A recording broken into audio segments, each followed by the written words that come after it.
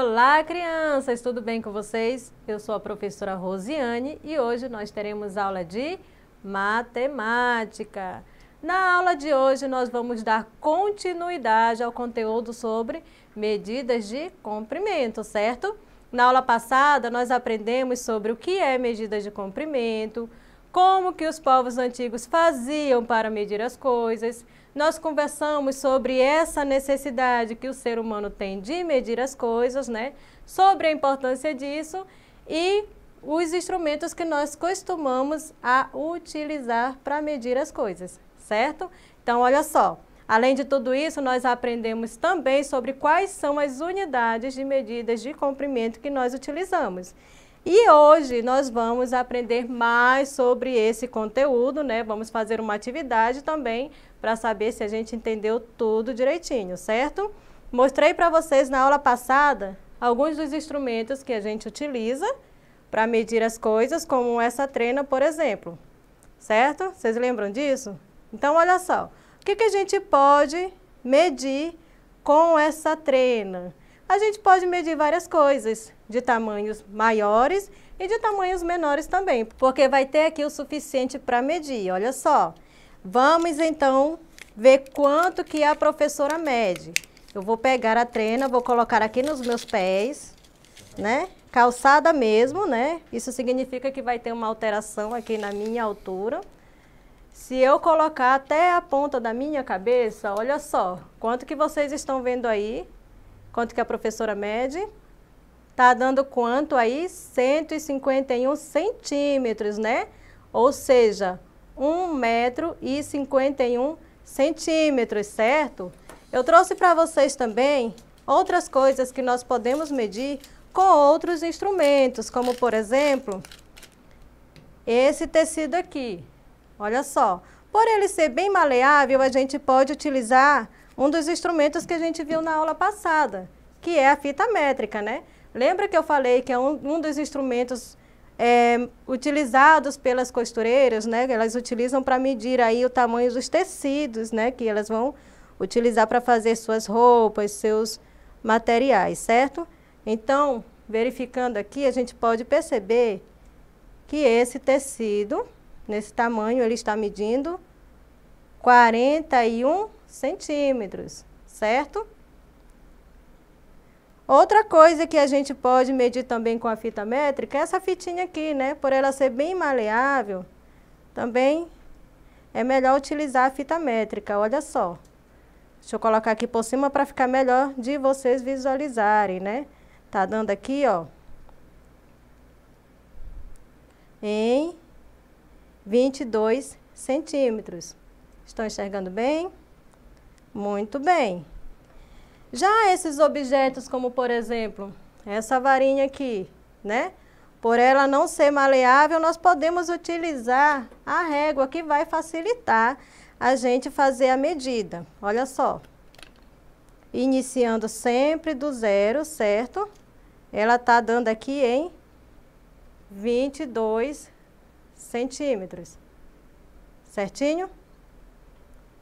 Esse lápis aqui também vai dar em, iniciando do zero, vai dar aqui em 14 centímetros, certinho? Mas, professora, só os maleáveis eu posso medir com a fita métrica e os grandes, as coisas grandes eu posso usar a trena? Não. Como a unidade de medida ela é padrão, então qualquer objeto desses que vocês forem utilizar para medir qualquer coisa, vai dar a mesma medida em qualquer instru instrumento desse, certo? Agora vamos aqui para a nossa atividade no cartaz. Observem o que está pedindo. Qual é o comprimento em centímetros indicado pela régua de cada objeto representado? E aqui nós temos, aqui nós temos um alfinete, depois nós vamos ter um lápis, logo abaixo nós vamos ter uma borracha e abaixo da borracha nós vamos ter um pincel, né? Estão todos colocados no mesmo lugar, na mesma localização aqui, ó, partindo do zero, certo?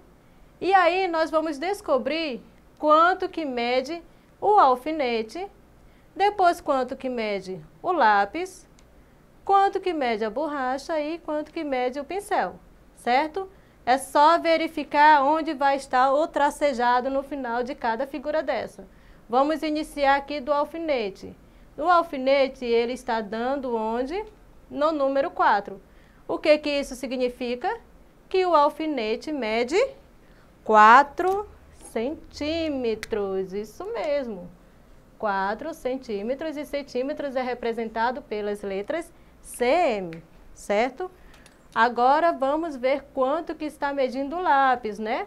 Iniciando aqui do zero, ele vai terminar a sua pontinha aqui no número 9, isso mesmo.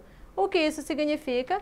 Que esse lápis aí da imagem, ele está medindo 9 centímetros. Muito bem. E agora vamos ver quanto que a borracha está medindo. Olha só, está iniciando aqui no zero e vai até o número 5. Isso significa que a borracha mede aqui 5 centímetros, certo? Representados aí pela pelas letras CM. E o pincel, quanto que o pincel mede? Podem perceber que ele é o objeto maior de todos, né? Iniciando aqui no zero, termina aqui no número 14, né? O que, que isso significa? Que o pincel mede 14 centímetros, certinho? E aqui na atividade número 2, nós temos assim. Qual dos objetos das imagens que serão mostradas pela professora podemos comprar por metro. Eu vou mostrar para vocês algumas imagens e vocês vão me dizer se a gente compra esses objetos por metro, sim ou não, certo? Então, olha só, vamos começar aqui do que tem nessa imagem. O que, que é isso aqui? Aqui nós temos alguns pães. Se você for no mercado comprar pão, você vai comprar por metro, sim ou não? Muito bem, o pão a gente não compra por metro, né? Então eu não vou colocar ali, certo? Vou deixar ele separadinho aqui. E aqui nós temos, o que que é isso? Uma mangueira, né? E aí, será que a mangueira a gente compra por metro? O que que vocês acham? Isso mesmo, a mangueira a gente compra por metro. Então vamos colocar aqui no nosso espaço aqui embaixo. Certinho? Muito bem. E aqui nós temos, o que, que é isso? Um pacote de arroz, né? Será que o arroz a gente compra por metro? O que, que vocês acham? Sim ou não? Isso mesmo, arroz a gente não compra por metro, então eu não vou colocar lá, certinho?